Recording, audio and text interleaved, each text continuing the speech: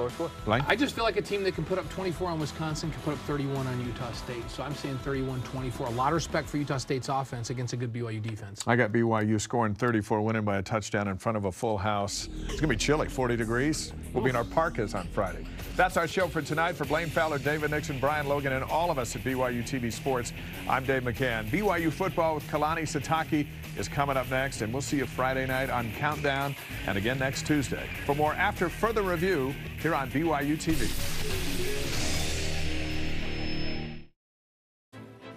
Coming up, the Cougars enter October with a winning record and a date with Utah State. We are live in Studio C to cue it up with the head coach, Tristen Hoge, and J.D. Falslev as BYU football with Kalani Sitake starts now.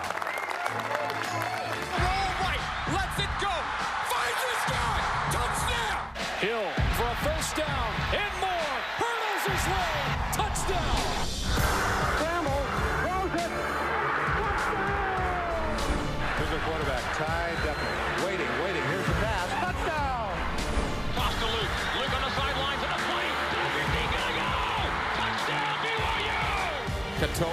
reception, gets out the 25. First down on third down at 23. Mangum throws, complete. First down again. Bushman and more.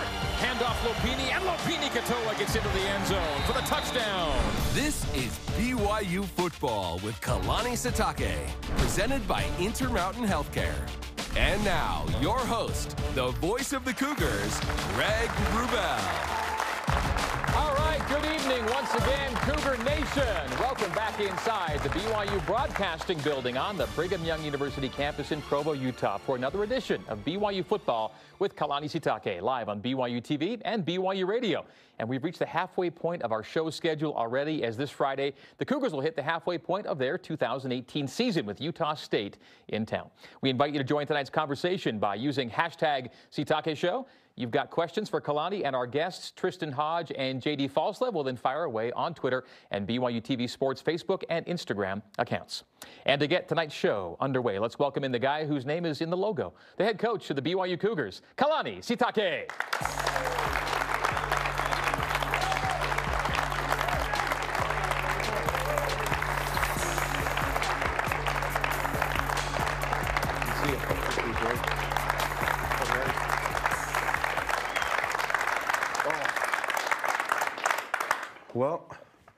Another week. Good practice today, so you guys know. Really good. And a, and a good group here in Studio C. Special Yeah. guest, by the way. A lot of the Rock is here tonight. Where are you, Rock? Let's hear from the Rock out there. All right. Yeah. Love the rock. You guys make tons of noise. That helps us out a lot. So thank you for, for always supporting us and camping out and all that stuff. So we appreciate you guys. We've also and got all the fans, too. Yeah. Yeah, uh, BYU AD Tom Holmoe is in our audience tonight too. Tom, thanks for being with us. Right on. Well, you could you could have Tom be in the show. You don't need me. No, we need you. We need you. We love Tom. We need you. Yeah. Uh, let's. Uh, you, you had a battle in Seattle uh, this past weekend. We're always looking ahead on this show. We do a little bit of looking back, and uh, uh, didn't go the way you or the guys wanted. And uh, I know that you kind of felt coming out of it that uh, just did, didn't give yourselves a real shot in, in that one. Yeah, we felt like it was a, really a missed opportunity for us, and uh, want to see how we match up with uh, a national powerhouse like Washington. And um, I don't think we gave ourselves really a shot to to see how we measured up to them because we uh, did so many things against ourselves. You know, we um, shot ourselves in our foot uh, so many times, and that's you can't expect to beat a, a great team like that when you when you're just giving them uh, when you're just making as many mistakes as we made. And so um, I say that with giving a lot of credit to Washington because they're a great team. They showed uh, in in that stage, they showed a lot of poise and composure, and uh, they looked like a team that was in the national playoffs last year. You know, so uh, it's just a lot of uh, credit to Chris Petersen and his staff and and their team, and, and hopefully we can get to that moment. Uh, we saw how we performed um, this year, and we'll see them again next year. So hopefully we make a lot of improvement in the next uh, 365 days. We'll do a brief rewind of what uh, went down in Washington on a Saturday night. A great atmosphere up there at Husky Stadium, 70,000 plus. And this was their first drive of the game when uh, Corbin forced an intentional grounding and actually uh, backed them up as they were driving. And they actually punted on that uh, first possession. Nice pressure from Corbin. Yeah, good play call, and we just uh, they were really patient on offense. You know, we, we felt like we were getting some good knockback at the line of scrimmage, and they're doing a lot of runs on the outside and really getting their, their athletes in space against our guys, and it just didn't pan out for us. They just they're patient with the run game. Uh, you know, I think uh, you see Tanner connecting with Bushman there. I mean, he he was uh, accurate, and we felt good about the game plan. Just didn't execute in all in all phases of, of, what we're trying to get done with all 11 guys in the field. Late in the first quarter, got into the red zone, but uh, got backed up on a penalty and a number of penalties on that one drive kept BYU from scoring there. We go into the second quarter with BYU down by a score of uh, 7 0. Uh, Ed Lamb says that Skyler may have picked his head up a little bit on that field goal try that goes wide left. We stayed 7 zip and we are in the second quarter. And uh, Myles Gaskin, he's Washington's all-time leading rusher. His quarterback is Washington's all-time leading passer, and those two played well on this night, certainly. Uh, Lopini Katoa was, was a bright spot for you, but uh, a late turnover in the first half sets Washington up to take what was a 14-0 lead, Kalani, and make it 21 before the break. Yeah, it was unfortunate. I mean, it's a, a mistake by the freshman, and um, you know we, we, need him to hold on to the ball better, and it just it, it kind of swung things badly for us. You saw the missed field goal, and now uh, being down 14 with an opportunity for them to go with a QB uh, draw and, and, and uh, you know get through and get in the end zone with uh, five seconds left. So uh, not a good, not an ideal moment for us. And uh, we, you know, we got three and out coming in out of the second half, and then Washington just got things rolling, and we're able to get get the score up to 35 zip. And um, I think we got off a, a, a turnover off this muff punt. Get a lot of credit for Mitch for being there. Mitch Harris, our, our long snapper, uh, being able to get run hard and get downfield and, and uh, recover as soon as he dropped the ball. So. And that play set BYU up for its uh, late score. And it was Lopini Katoa scoring for a third time in two weeks, third touchdown of the season, and as a Cougar, and a 35-7 ended up being your final score. A few of the numbers of note uh, brought to you by Nissan Intelligent Mobility. Now the most exciting tech you own is in your driveway, and here were the uh, game stats, the way they rounded out at the end of it. Washington a pretty productive and balanced night. The turnovers were not BYU's undoing. The margin was even there. It was just a, a, pretty steady performance from the Huskies, and BYU never really got it going on offense, and a chance to bounce back this week on a, on a short week. Kalani's which is what it, what it comes down to, so no time to really feel too much sorry for yourselves on that one. It's already put in the review. You've had a couple days of practice already to get ready for a, a, short week opponent. Yeah, I think it's important that we learn our lessons, though, and, and, and see the mistakes that we made. And, um, you know, the mistakes are part of the game, but we can't have uh, those type of mistakes uh, back to back to back to back. And, um, and, and we had missed assignments. I talked about it after the game where um, once things were getting kind of tight and we were down 14-0, down 21-0, guys started to press a little bit more and trying to do more than their job. And that's a, it's a tough way to learn it, you know, against these guys. But you're, you can't, if you can't do your part, you can't do somebody else's job either. And so um, that's where we, it's a little uncharacteristic of what we are about as a team. And we didn't play BYU football, and, but I think uh, Washington got us off uh, off of what we normally would do, and um, a lot of credit to them. They're they're they're the type of team that we want to be, and uh, in order to do that, you have to show poise and composure in those tight games and in those moments when things are really stressful. So you've gotten through September, a five-game month uh, with four P5s, three of them on the road, two of them in the top 15.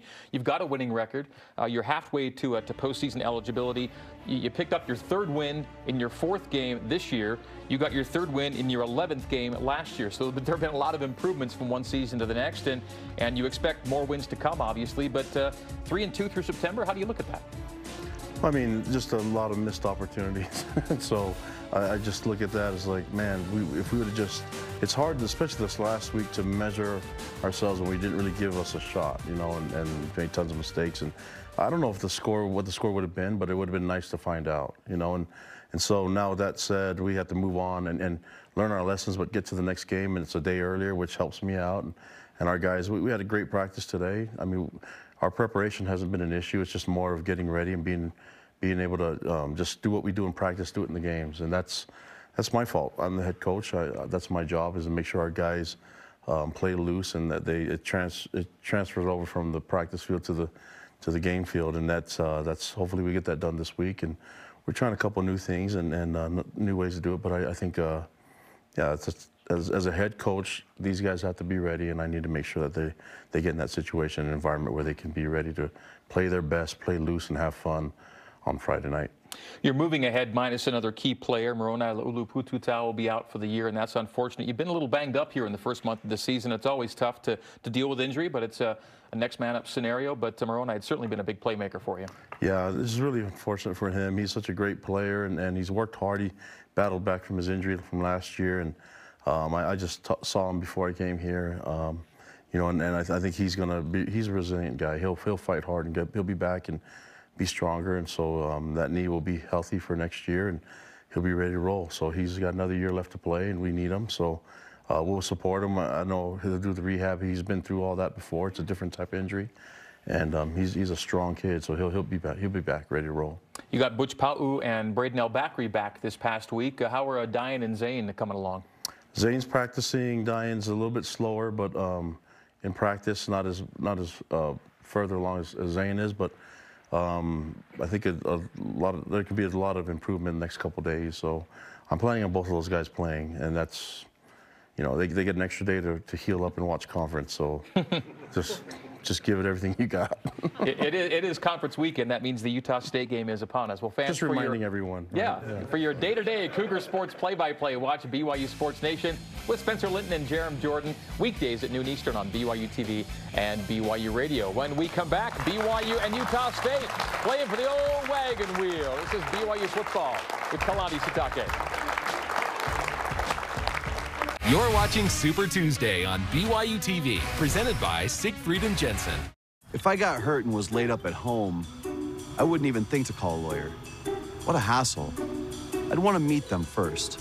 What if I told you that for your first consultation, your lawyer will come to you, home or hospital? Really? Really. They do that? If you've been injured, we'll come to you. It's your job to get better it's our job to deal with the insurance companies. Learn more at siegfriedandjensen.com. I ain't got no chill. The BYU TV Sports Countdown to Kickoff. BYU versus Utah State, 8 Eastern, 6 Mountain, Friday on BYU TV. I wanted to be a pro basketball player growing up. I can watch sports, I can attend sports, talking about sports. It just unites so many people. Like there's nothing like when something wild happens, everybody is connected in that one singular moment. Are you cool not being a pro baseball player? I kind of feel like I missed out not pursuing that 100%. Bring him home! But it's okay because even from the time I was like nine years old was I want to talk about it. It feels like where I need to be.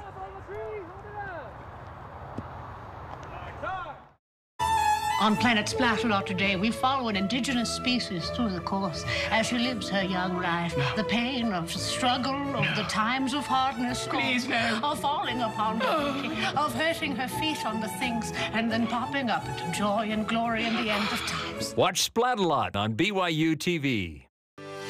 Gather around for family movie nights on BYU TV. When a little girl hides in a mysterious wardrobe, she discovers a world called Narnia but evil rules this magical place in The Lion, the Witch, and the Wardrobe. Grab the popcorn and hit the lights for family movie nights all this month on BYU TV. BYU football with Kalani Sitake is brought to you by Intermountain Healthcare, healing for life, and by Nissan, innovation that excites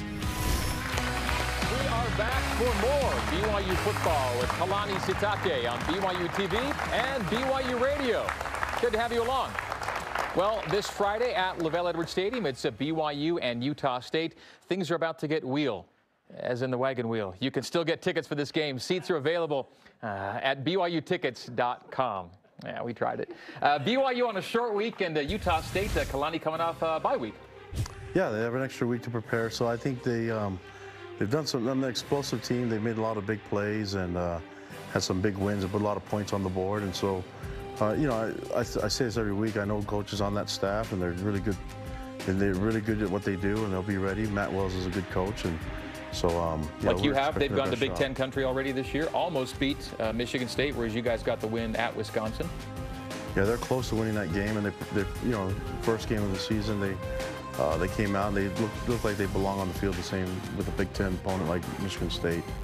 They have won three in a row, and they are scoring a ton of points, but uh, doing it against a schedule that beyond the Michigan State game hasn't been nearly as stringent as, as yours. And uh, depending on certain measures, Kalani, you've played either the first or the fifth toughest schedule in the country through the first month of college football. You've certainly tested yourself uh, more than most.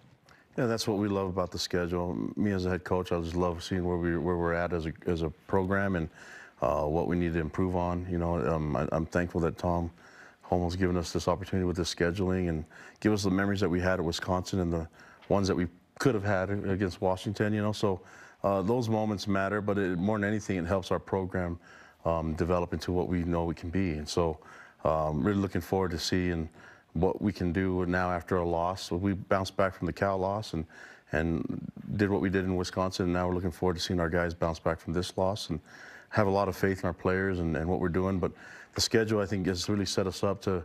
It does no good if we if we don't show up and play our best this Friday. So uh, it's a great time mid-season and um, good time for all of us to get get get things rolling on all three phases of the, of the, of the game. And I'm looking forward to it. I think we'll have a great game you go from all these P5s to a rivalry game, so you stay right in the intensity. Uh, BYU and Utah State, when they met last year, uh, as we talk about the Ags a bit, uh, Jordan Love wasn't yet the man, but he is now. Uh, efficient passer, can run just enough, uh, and he's leading the team pretty well right now. Yeah, and he has, he, I mean, he's he has composure. He, he hangs in the pocket, can throw the ball. He's got great completion percentage. Um, he, he runs the ball. He's, he's been able to pull the ball in third and fourth and short and make plays. Um, he, he's a he's a threat in, in all different parts of the game as a quarterback.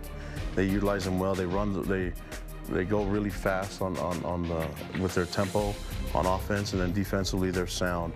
Uh, they bring they bring pressure quite a bit and they're good coverage and so they're a good sound tackling fundamental team and so you know we'll, have to be at our best and, and, I expect our guys to be at the best especially after last week's uh, uh, inability to do so. So I think this is going to be a big time for us and uh, just being able to just show up and do our thing and play our BYU type of football. Special teams note, uh, Kalani, uh, you've got a kicker with a good leg in Skyler Southam. The last time BYU kicked a 50-yard field goal was 12 years ago. Their guy, Dominik Eberle, has three 51-yarders in one game this year. He's something else. Yeah, and he's I think he's 100%. He's eight for eight. Eight for eight, field yeah. goals and um, but yeah, he's got a great leg and, and uh, accurate, obviously, and you know. Ho but hopefully, if they get into the red zone area, we can force field goals. I think we're pretty good at blocking them, so we'll see what happens there. But uh, hopefully, we don't see him on the field much at all. We'll, we'll try to keep him off. All right, Cougars and Aggies this Friday night at LaVell Edwards Stadium. As we head to break, we want you to know that you can enjoy a full hot breakfast buffet, dinner Monday through Wednesday, a kitchen, and a large grassy backyard along the Provo River Trail, all at the Residence Inn Marriott in Provo. After our break, the coach taking your questions in studio and from social media. This is BYU Football with Kalani Sitake. Tim Dahle Ford in Spanish Fork offers a large inventory of Ford vehicles, including a selection of cars and trucks, providing a range of transportation choices. From the Ford Fusion sedan and the Edge crossover SUV to a range of pickups including the F-150. Each product line comes with options to enhance performance, comfort, and safety. Think Ford, think Tim Dahle Ford in Spanish Fork.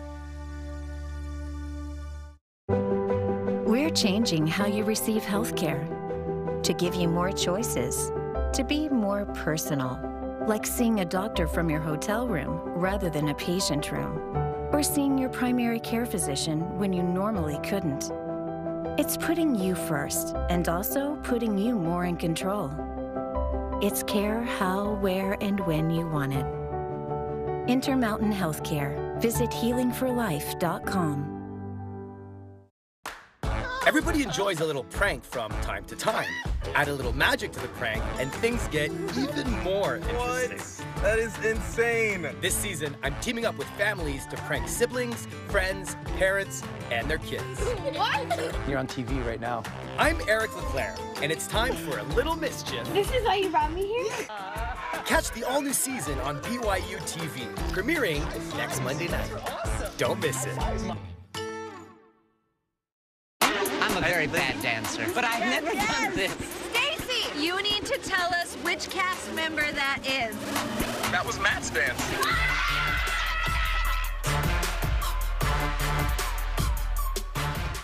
Bruh, I ain't got no chill. The BYU TV Sports Postgame. BYU versus Utah State. Friday after the game. Julian. All right, Cougars in the NFL of note from this past weekend include uh, Taysom Hill. Yeah, he's throwing the ball now, too. Of course, it was a matter of time with the Saints. Uh, Kyle Van Noy, a big play as the uh, Pats got back on the winning track, beating the Dolphins. And uh, Fred Warner's a double digit guy with tackles every week, third in the NFL in the tackle tally right now. He has been tremendous there in the Bay Area. All right, welcome back to BYU Football with Kalani Sitake on BYU TV and BYU Radio. We are presented by Intermountain Healthcare. Reminder, use hashtag Sitake Show on Twitter and comment on the BYU TV Sports Facebook and Instagram pages for a chance to see your question asked during our Q&A sessions, the first of which begins right now. And let's uh, go right in here in studio, and we uh, welcome to our mic Spencer Demand. Hello, Spencer. Hi, how are you? Good. Uh, yeah, just uh, what factors and problems do you uh, that keep you up at night on both sides of the ball? Oh, everything. Yeah. I mean, that's that's part of the, the business, and then I, I make up stuff in my head on things to be prepared for, and then then I have children to worry about too. So no, no different than you, Spencer. We're all the same, you know. So I, I, I say that, but I love every every second of it. So it's, I mean, I like being up late and watching football. It's my job, you know. So uh, I, I really don't. The factors as far as I'm sitting here over the weekend wondering why we didn't show up and play as loose as we could have, and trying to look at all the different factors that actually matter, and then seeing what we could address. And myself as a head coach to allow our guys to play a lot more um, smoothly and focus and execute better. So that's that's the stuff that I look at currently right now. Speaking of what keeps you awake, are you an alarm clock guy? Do you need an alarm to wake up in the morning? And what is a wake up call for you like on a typical day? Yeah, I, I'm, my wife hates it, but I have two alarms and they're usually far away, so I have to get up and walk. What time are they going off at? Usually like before six sometime, yeah. But when do I get up? I don't know. It takes me I could go walk over to the other alarm, turn it off, and sit on the couch and fall asleep that quick. So it's, a, yeah. it's an early day either way. You're in the office early, right? Yeah, I, I, I, heard it's not good for you to set a bunch of alarms, but I can't break it. That's just, that's what I get into. And then I have this weird habit of waking up a minute before it goes off. And it's like that's the most crucial minute I needed that minute for my life. And so yeah, so I try to set my alarm a minute before I normally would set it. There you go. Um, Try it. It works. what, what's your uh, what's your uh, regular bedtime, by the way, at night? I don't have one. I just go to bed whenever I feel like tired, and usually watching film. And that's like, you know, once I drop the remote, you know, when you drop the remote and it hits the ground it wakes you up, that's when it's that's time. That's when it's time. All right. Yeah. Social media. Jeff Carroll on Instagram asks, is there a big difference in playing rivals as a coach versus as a player? And do you especially look forward to those rivalry games? Oh yeah, as a player, I loved them. I mean, that's I knew the guys there. I, I was familiar with them and saw them around, hung out with them. So uh, the players a little different. As coaches, just focused on the players and just letting them enjoy it and uh, trying to create an environment where they all could flourish. You know, and that's that's kind of what I'm. I, I wish I could play. I still want to play to this day, but my body can't do it. And um, and coaching to me is the next best thing. So that's that's why I get a lot of joy from doing that. Okay, back on our studio mic, we have Robbie Peckham. Hello, Robbie. How's it going? Good. I just wanted to ask, how do you help the team prepare? You know, facing opponents like Wisconsin, then McNeese State, then Washington, very different caliber opponents. Yeah. So the, the main thing is to focus on what we can do and how we can improve ourselves, and then really keep the focus on us, and then more when you're when you're looking at the other team and the other opponent, it's more of what their tendencies are, um, rather than the talent level. You know, so uh, you don't when you when you ask somebody to cover the post, it doesn't matter if you're a safety who's running the post route. It just matters that you're in the right spot at the right time, and then um, you know, and then you worry about the talent when you play when you play them, and you can kind of um, get a good feeling. It just doesn't help when you're not in the post when you're supposed to be. Then then it all falls apart. You know, and that's kind of what we had a little bit this last weekend. Not really about assignments in the pass game, more more about our, our technique and our assignments and, and, where we're supposed to be and fitting in the tackles. Our goal is to try to stop the run and uh, take away the run so that the team can be one-dimensional, and uh, that just didn't work, and they kept us on our heels the, the entire game. So that's that's what we focus on ourselves, and then look at the other team, just the tendencies more than anything, and what we expect to see, and then um, worry about the talent later when we get to play against them. Okay, Robbie, thank you. Uh, social media, David Holiday uh, from Facebook asks, how do you keep the guys from getting too emotional against Utah State if you end up uh, being provoked by someone on that team? yeah, I think that's been our, our, our, deal is just trying to stay calm and, and um, not get too excited. But we keep talking about our, how toughness is our, is our deal at BYU, and that's, that's our mantra, is, is our, that we're tough guys. Um, but to me, the toughest guy in the fight is the one that's willing to walk away. You know, so this isn't an actual fight. It's a physical confrontation on the football field. We understand that, but it's in between the whistles, and we'll take advantage of that on the field and in between the whistles. And so if, if the provoking and all that stuff, we don't trash talk, we don't do any of that stuff. Uh, only bad decisions happen when you're angry. I'm, I'm speaking from experience, and we can all agree that when you're angry, you don't make the best decisions. So why would I want my players to be angry? I want them to have uh, composure and and make plays and have a good time. I mean, I think you can get a lot more from loving what you're doing and being with the people that you love being around and playing the game with compared to anger. You know what I mean? So that's going to be our focus, and uh, I, don't, I don't think our guys will have any issues with it. Okay, more social media at Tanner Lewis on Twitter. How much does last year's game at Utah State uh, win by uh, the Aggies? How much does it play into the motivation for this week? Oh, a lot. I mean, I think we started the game real quick and we're up on top of them early and um, made tons of mistakes and uh, started getting turnovers and, and pick sixes and things like that. And, and then uh, blinked and the score was all of a sudden different, you know. So um, mistakes will not help in this game. They don't help in any of our games, obviously from, from the Washington game. So we need to minimize the mistakes and, and then use effort and playing hard and, and playing uh, and executing cleanly to make up for any mistakes that do happen. So that's going to be the key for, in this game for us. Um, we've, we've, taken care of the football. Um, even in last week's game, there was only one turnover, but I wasn't happy with just the ball being on the ground. We had a couple, I think three, three fumbles that, that they could have gotten, you know, and so um, that, that needs to be cleaned up, and that's my job as a head coach is to make sure that our guys are using the right technique and making sure that they're securing the football. Um, stuff happens. I mean, there's not a team out there that hasn't – throwing an interception the entire season. You know, even the great Tom Brady throws picks. So, um, but what you need to do is make sure that they're they're not just because we're being careless with the football or taking risks risks when you shouldn't be. So that's we just want to execute the game game plan, play clean, have fun, and then see what the score is. And I think it'll work out in our favor. By the way, before we hit break here, and thanks for the questions, folks. Uh, the, the pen and the whistle are not props. Uh, you just came off the practice field. We need to tell yeah. people that when you come and say good practice, you're like go right from there to here, right? So you're just but using. You want me to blow the whistle just to make sure you guys know it's real? It's a real. That's All a right, real whistle. everyone up down, let's go. Yeah, uh, yeah. And the pen, it's just it, it works. So I don't know. I can draw a mustache on you. No, we're good on that.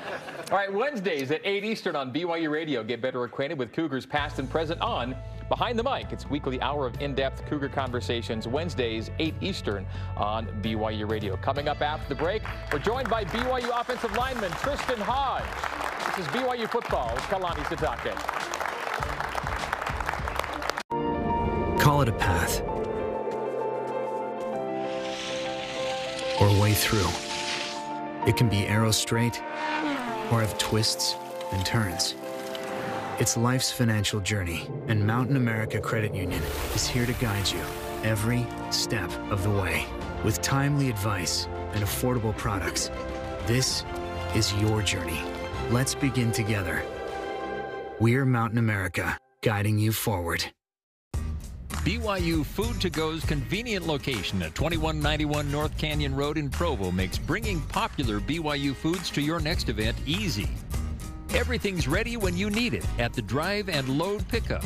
You drive in and they load no matter the weather. And stop in the on site creamery for great BYU chocolate milk and ice cream. BYU Food to Go, bringing campus to your table. Call for details 801 422 5001. Okay, everyone, gather around. After four years of hard work, we are so excited to finally release this to the world. Secret. It's important, but I think I can trust you. It will either be super fun or the worst thing ever. Is it real? It's hard to say. It's it's 50-50. It's definitely not the middle. You're in love with someone else? Yes. Yes. No! Girl, you know it. Please, no. No? Are you okay? How dare you ask that? I think it's safe to assume that James is dead. This is getting weirdly personal. The rest of the cast of Studio C uh, Very impressive. Surprisingly impressive. Excellent. Really? Really? Really? Really? It's insane. Absolutely brilliant. This is why I love you. and I love you. Oh, is that how you say it? Yes. Oh, that feels good to say. What? What? What is that? What in the blooming beast of burden was that? I did it. Don't miss Studio C, Mondays at 7 Mountain on BYU TV. BYU football with Kalani Sitake is brought to you by Intermountain Healthcare, healing for life. Welcome back to BYU football with Kalani Sitake, live on BYU TV and BYU Radio. Time now to meet this week's player guest on our weekly broadcast. And just like Taysom Hill, he is the pride of Pocatello. Please welcome redshirt sophomore offensive lineman Tristen Hoge.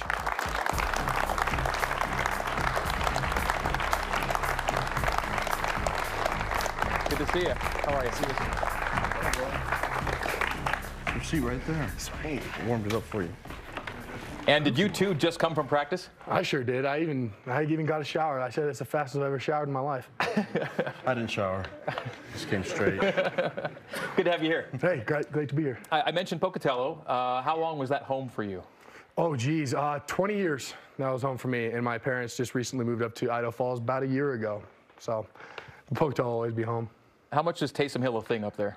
Oh, I mean, during high school, I mean, that was a, that was a huge thing. You know, Taysom was everywhere. That he was the, he was the talk of the town. You know, he was the he was the big guy on campus. You know, at Highland, it was always great having him back. You know, and just knowing you knew when he was there. You walk in Highland, you, you just knew like, oh, I think Taysom's back. But you know, it was great. It was always great. So uh, so yeah. This is some of you as a kid uh, growing up there. Uh, Cowboys, huh? That was that uh, was that like Pop Warner? Yeah, that was my Pop Warner team. I think that photo I might be sixth or seventh grade. Okay. Yeah, maybe sixth. Yeah, seventh grade was a different phase. So Highland High, uh, Tays- Tay- Taysom's there before you, obviously. Yes. But but you played with a guy who's currently a teammate in Wayne Tay Kirby, right? You Yes, I did. Team? Yep. And how about uh, Connor Harding, the hoopster? Yes, yep. We were they were all um, year younger than me, so I mean, you know, but we always knew each other. We were always good friends. So yeah, it's good to have them here.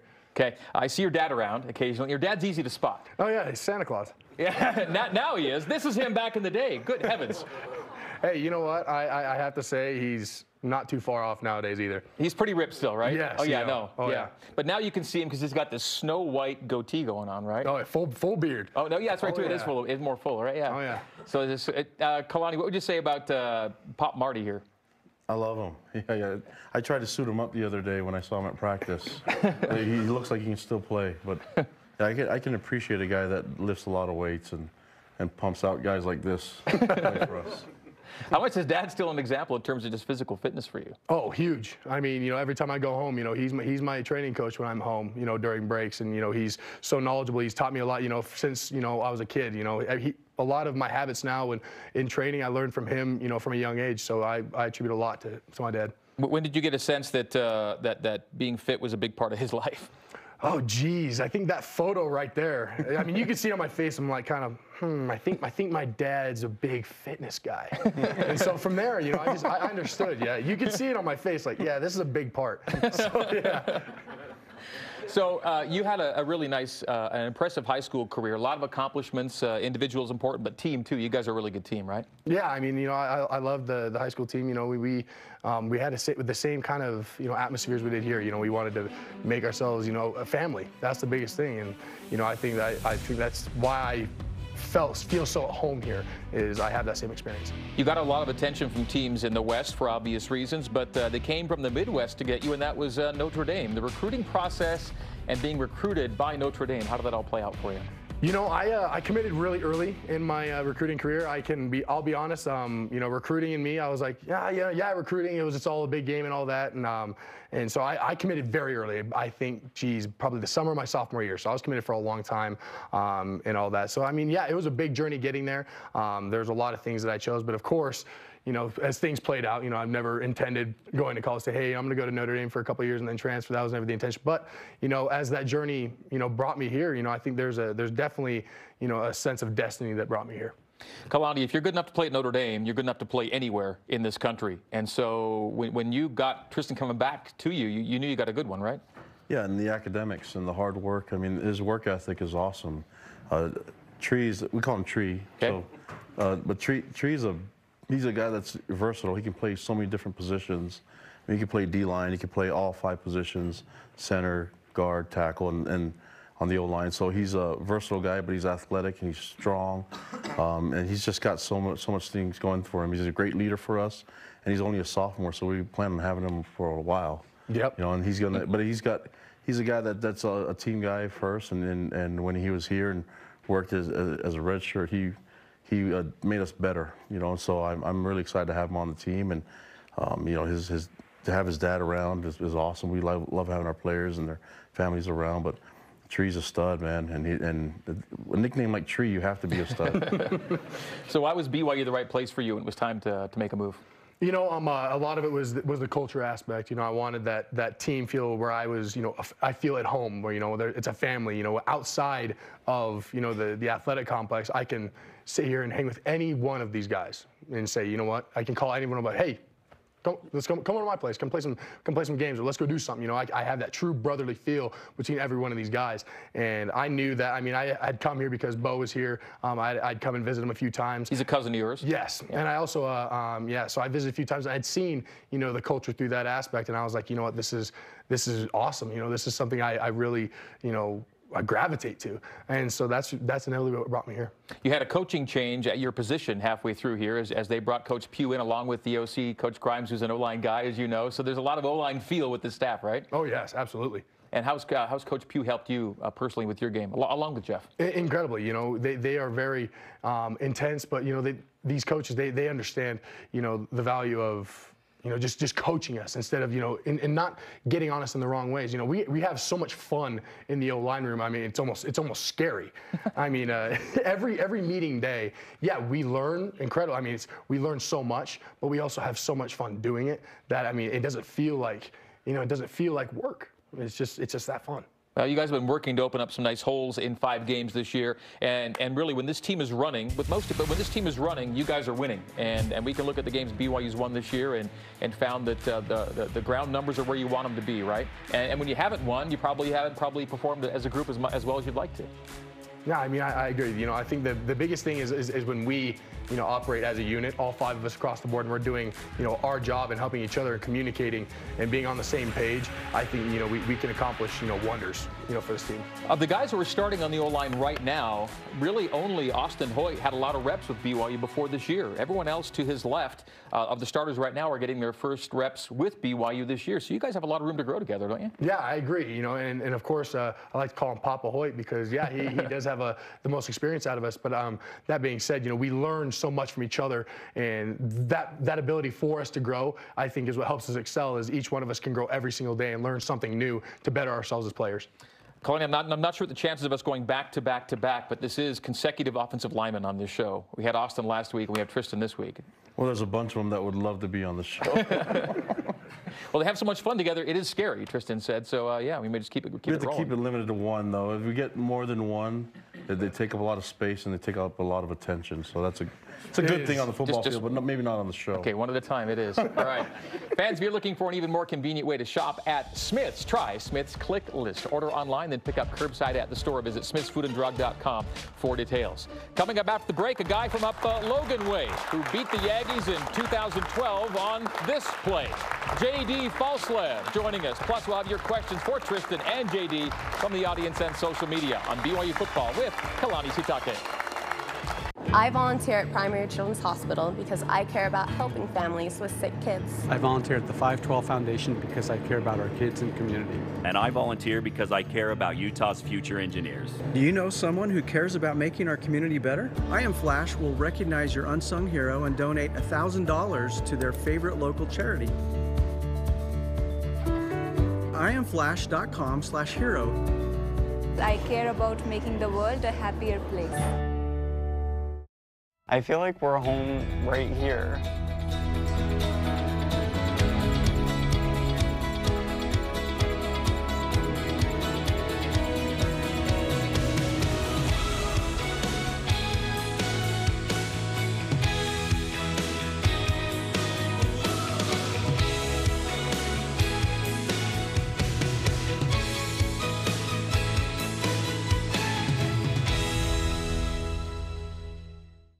On the season finale of the Story Trek, I'm back in the Gem State. I can't even explain how hard this year and a half has been. Three years ago, I met a remarkable woman battling a potentially fatal disease. I lose my hands for a minute. And because Ashley had the courage to share her story. Perfect! Good job. Plus, a potato points me to longtime friends who refuse to act their age. As long as you're able to move and keep moving, then life will treat you well. Watch the Story Trek tonight at 8 Mountain on BYU TV. Some say if you're looking for the soul of America, you'll find it right here in Memphis, Tennessee. But if Memphis is the soul of America, then what's the soul of Memphis? From the banks of the Mississippi to the neon lights of Beale Street, that soul's hiding somewhere, and I've got to put it all in one painting. Join me as we paint the town of Memphis, Tennessee.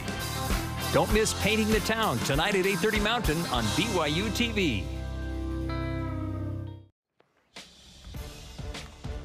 Welcome back to BYU Football with Kalani Sitake on BYU TV and BYU Radio, presented by Intermountain Healthcare. Reminder to use the hashtag Sitake Show on Twitter, and you can also comment on the BYU TV Sports Facebook and Instagram pages for a chance to see your question asked during our next Q&A sessions coming up very shortly. Well, first up, we meet a Cache County native who knows just how much the uh, BYU-USU rivalry means to both programs. Please welcome in former BYU receiver, return man, grad assistant coach, and now offensive analyst from Smithfield, Utah, J.D. Falslev.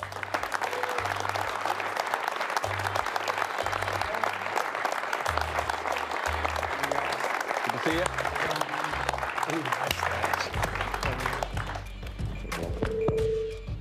You're, oh, you're over there. It's like, it's like the position of honor. Front yeah. and center. Tonight show. You just Front and center. Did you sit in this? Am I gonna break it now? All right. First things first, JD. And I know it's first things first probably in every conversation you have these days. How long is this sticking around? I don't know. I, uh, I guess as long as Coach Grimes has it, I'll stick around and have it. It's getting a little lengthy, but it's nice and it's nice and healthy. Does it does it does it work for you? Do you look at it in the morning and go, yeah, yeah, I like no, this? I look in the it, the mustache doesn't matter. I look in the mirror and I'm like, what happened? That's all right. Hey, it's all it's all about team building, right? Exactly. Part of the group. Uh, Exactly. JD stands for Joshua David. How long have you been JD? Since birth, uh, my father named me uh, JD. His name's Dave, so my middle name's David, and he had the whole intention the whole time to, to call me JD. Um, he had a good friend in college named JL and liked the two letters, so. You got some pictures so- of. Uh, Oh, geez. That's my first picture in the IPF. Yeah, that's freshman year. Yeah, and of course we, we talked about your playing days, and uh, in your spare time uh, Yeah. you like to golf. That may pop up at some point as well. But uh, we saw you on a uh, uh, on a Harley as a like a kid, like a wee. Who's, Started who's, young. Who's got motorcycles in your Started family? young. Uh, my godfather has one. He lets me drive his, so I've got his up in Heber and drive it all over the place. It's uh, it's one of my passions, one of my getaways. Um, because when I'm on a Harley, you're not on your phone. You're not. You're you're just one with nature. You're you're riding. I don't listen to music or do any of that. I just ride. It's a nice place to get away from everything. Tristen, can you respect the motorcycle vibe? You know, I had a moped once, but I wrecked on it, so I'm I'm probably gonna ixnay that until one, you know until I'm done with the Yeah. football. That's the buttercream gang. The mopeds. That's the buttercream. So for those who don't know, Smithfield, Utah puts you relative to Logan where? Um, roughly five ten miles north. Okay, so growing up, Aggie. Yeah, yeah, and uh, specifically their basketball team. I loved their basketball team. I went to all their games, cheered, cheered loud and proud.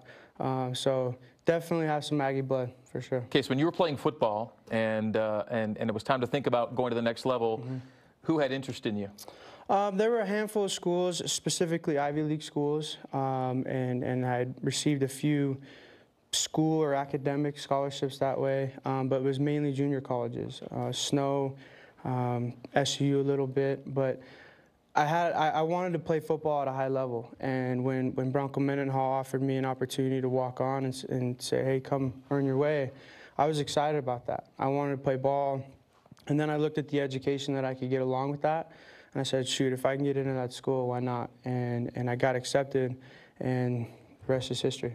Kalani, did you notice JD from afar when you were elsewhere? Oh yeah, defending him, and then you notice guys on other teams, and he's one that stood out that I just liked him. He had this this swag and moxie about him, that the confidence, you know, just like just liked the way he played the game. He, he always 100%, and it stood out to me. I just loved watching him when we were preparing for him, and um, and then getting to meet him. And when I got the job here, he's everything that you see on film. He works hard.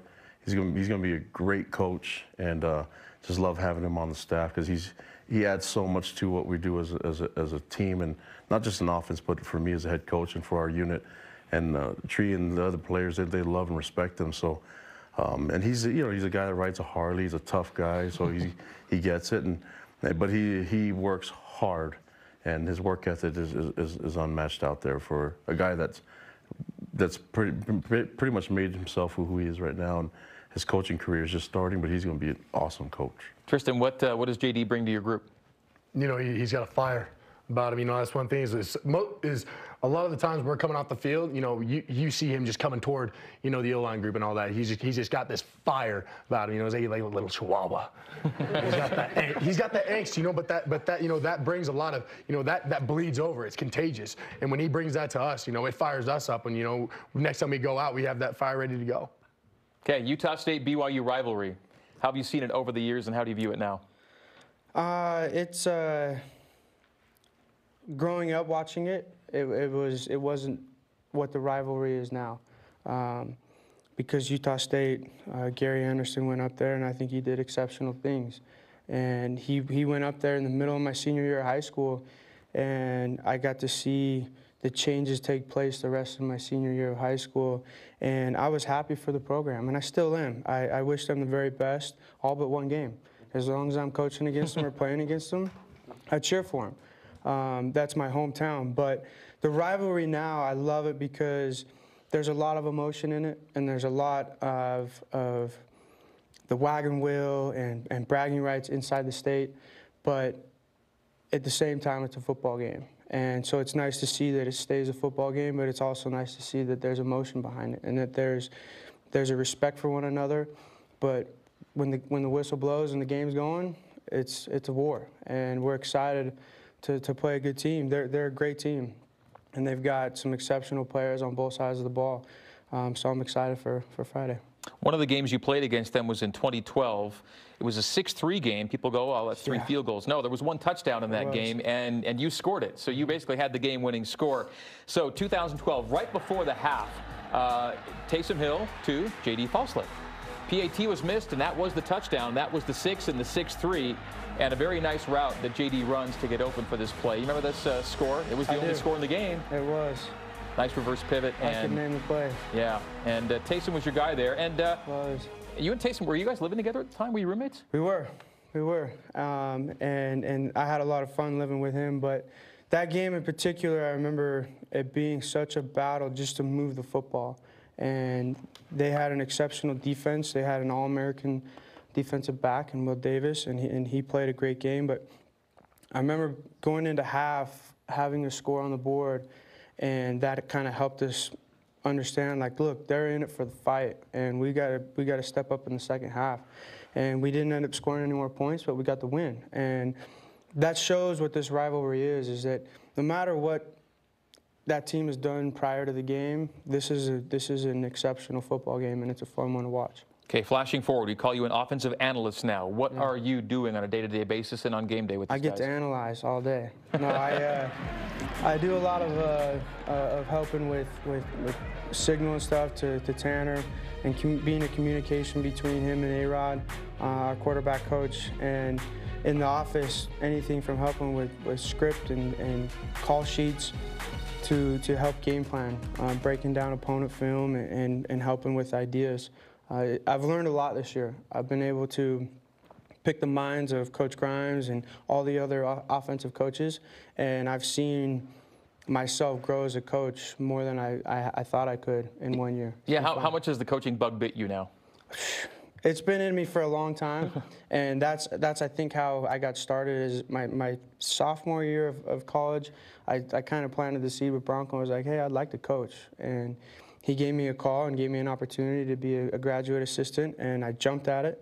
And it's been one heck of a ride. It's been fun. It's great to still have you here, by the way. I appreciate it. Feels like that. you've been here forever, and that's all right with me. It it's all good. It all right, is. Mondays at 1 Eastern, we talk with the BYU football coordinators on the Coordinators Corner with Jeff Grimes, Ilaisa Tuiaki, and Ed Lamb. Mondays, 1 Eastern, 11 Mountain on BYU TV and BYU Radio. After the break, your questions for JD Falslev and Tristen Hoge. And BYU football with Kalani Sitake continues. Hi, Daddy. Hi, sweetie. Check this out. Chicken wings. I love you.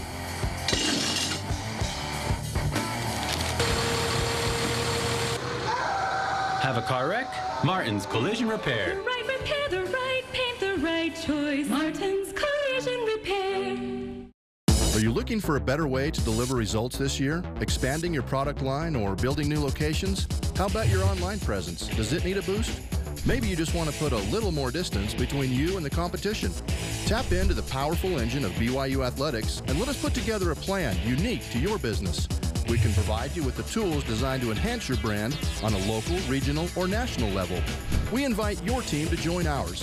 For details, email sponsorship at byu.edu today. Defending in Splat a lot, we have some fabulous people. First off, Stacy's best friend from high school, who also plays the tuba and the flute. Gildar? Yeah, definitely. And up next we have Tori's secret admirer bird crush. Kookaburra! Yes! And also a smile that could crush a navy. Nitrous. And we have a little something something that we found between Tori's toes. Pink core. Yes! Splat a lot. Mondays at 6:30 Mountain, followed by Studio C on BYU TV. I'm a very bad dancer, but I've never done this. Stacy, you need to tell us which cast member that is. That was Matt's dance.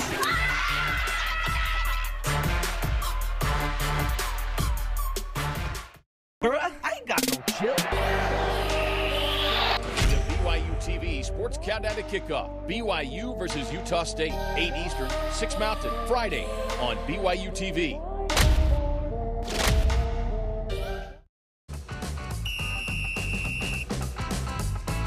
Zach Katoa. I'm a freshman and I play running back. My favorite movie is The Lion King. My favorite non-BYU sports team is the Dallas Cowboys.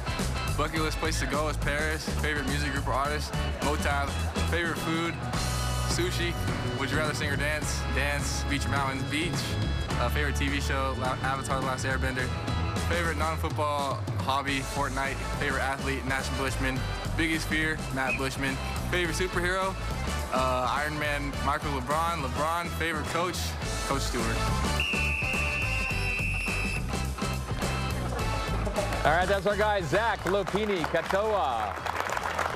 Welcome back. We have both uh, Tristen Hoge and JD Falslev joining Kalani and me on set. Now we turn to you, the fans, for Q&A time for our special guest. And we're going to start right here in Studio C. Andrew Klingon Smith with, uh, with us here at the mic. Hello. Hi, Andrew. Tristen, how long have you played football and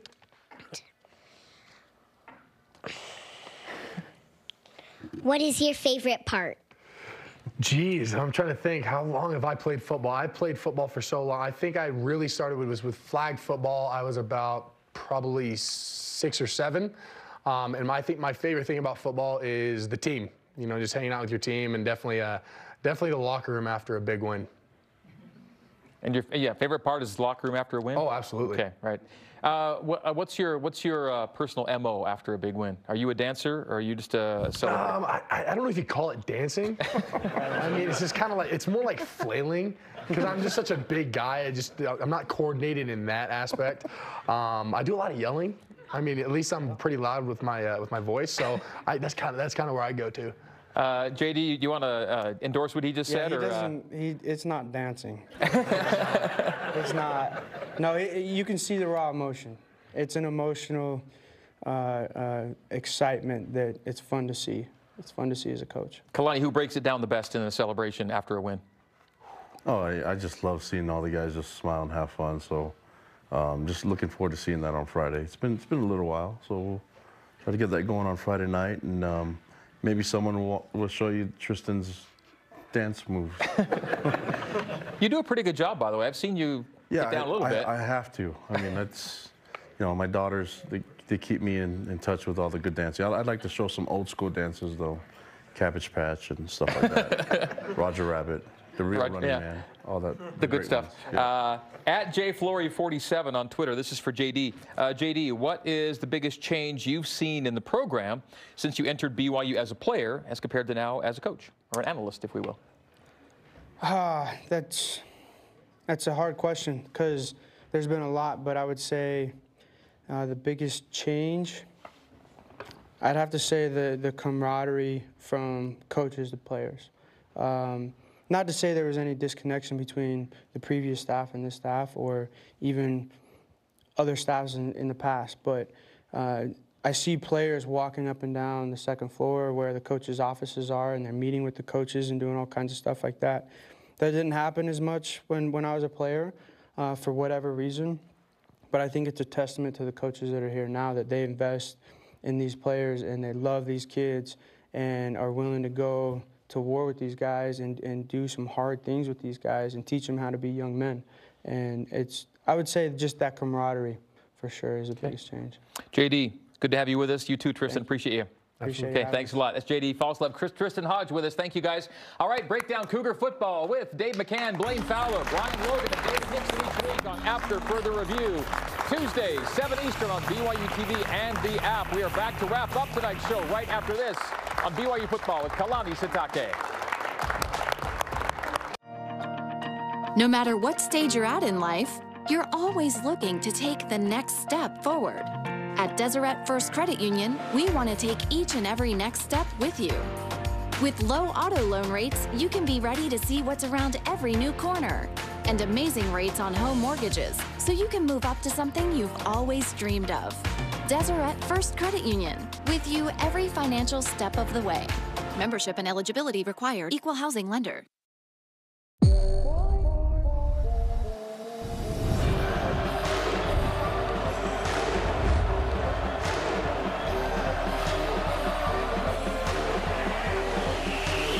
Bruh, I ain't got no chill.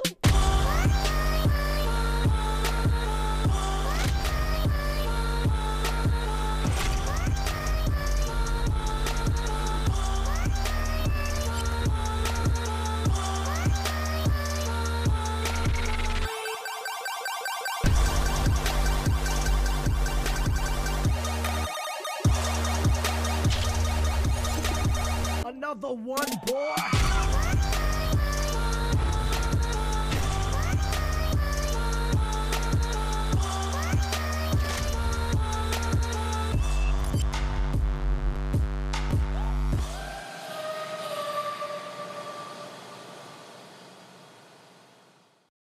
I feel like we're home right here.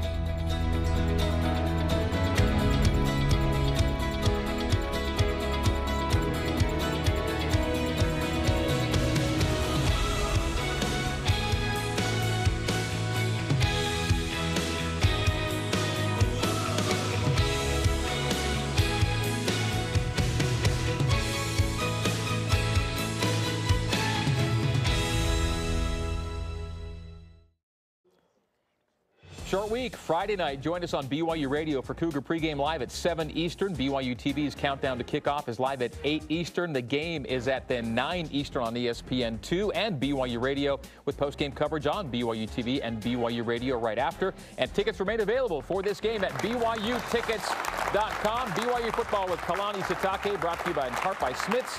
Low prices, market fresh at Smith's. So the loss to Cal kind of recalibrated your team. You've had a loss to Washington. Maybe expecting a similar kind of reset this week against the Aggies? Yeah, of course. And just we, we told our players um, that we're going to get an extra day of rest, you know, being on, on Saturday. And so uh, I'll ask the fans to do the same thing. Let's just empty our tank, scream all you want, make as much noise as we can, lose your voice.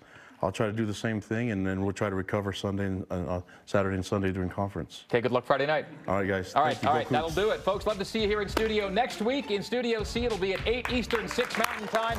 For Tristen Hoge, JD Falslev, and the coach, Kalani Sitake, I'm Greg Wrubell. This has been BYU Football with Kalani Sitake on BYU TV and BYU Radio. So long.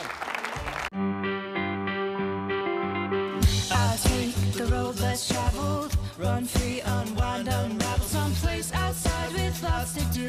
Green trees, red rocks, and don't forget that blue sky. The sunshine shining, sunshine pouring on me. Think I might just stay a while. Say hooray all day because the sun's gonna shine on me. Sun's gonna shine on me. Sun's gonna shine on me. Hi, I'm Dave McCann. You're watching BYU TV. See the good in the world. You're watching BYU TV on KBYU DT Provo.